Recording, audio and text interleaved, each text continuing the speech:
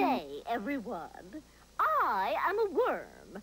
Worm begins with this letter, W. It's really the only important thing that does, you know.